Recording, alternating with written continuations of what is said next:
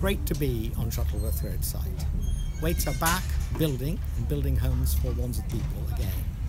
They've had the most challenging engineering task of making sure that this railway line is secure with the most humongous piece of engineering.